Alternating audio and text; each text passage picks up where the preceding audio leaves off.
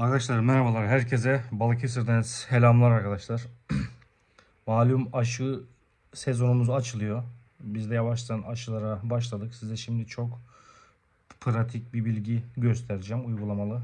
Geçen yılda göstermiştim. Şu kalemimiz, şu desteremiz arkadaşlar. Aşı yapacağımız yerden şekilde arkadaşlar destere ile çiziğimizi attık.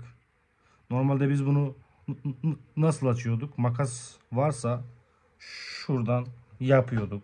Makas yoksa da şu şekilde yapıyorduk. Bu, bu şekilde tehlikeli olabiliyor arkadaşlar. Buradan elinize kaçabiliyor. Onun için ben bu şekilde yapıyorum. Şuraya destere ile oyduğum yere bıçağımı sokuyorum arkadaşlar. Şu şekilde kaldırıyorum ve aşımız açılmış oluyor. Yani hem destereyle kesip ardından makası alıp onu yapıp sonra bıçakla açıp değil arkadaşlar. Yani iki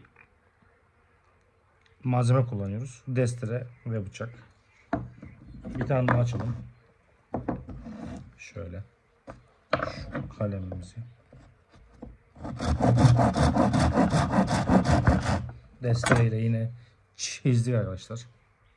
Şu şekilde. Gösteriyorum. Bu şekilde açıyoruz. Çok da basit arkadaşlar. Yani bu şekilde aşıcı arkadaşlar aşıcı ustalar daha çok kalem vurabilir arkadaşlar. Hadi bir tane daha açalım.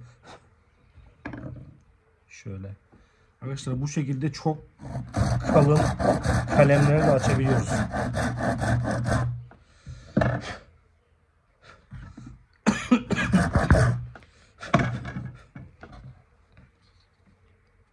Bıçağımızı soktuk. Ben şu şekilde sokayım. Şöyle. Soktuk.